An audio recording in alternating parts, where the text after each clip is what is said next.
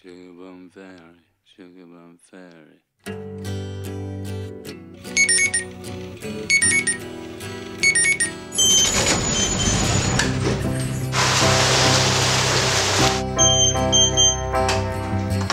I read the news today, oh boy,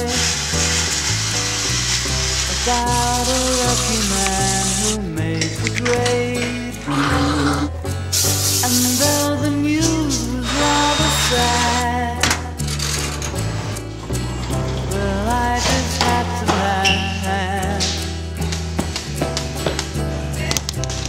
saw the photograph.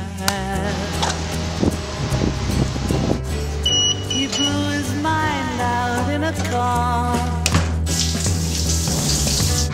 He didn't notice that the lights had changed. A crowd of people stood and stared.